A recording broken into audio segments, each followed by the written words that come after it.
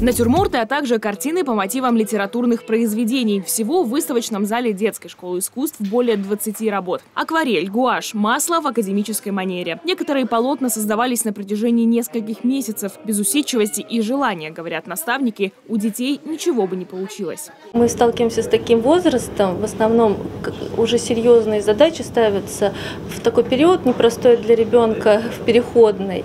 Вот. И здесь помимо того, что ты должен дать какие-то знания и навыки, так еще и психологическая помощь ребенку. Помощь воспитанники Сходнинской школы искусств получают не только от педагогов и родителей. Во всех творческих начинаниях детей поддерживают депутаты местного совета. Сергей Малиновский и Александр Якушин завсегдатые культурных встреч в стенах ДШИ. Кроме того, народные избранники тесно взаимодействуют с руководством и педагогическим составом школы, оказывая необходимую помощь в организации и проведении выставок.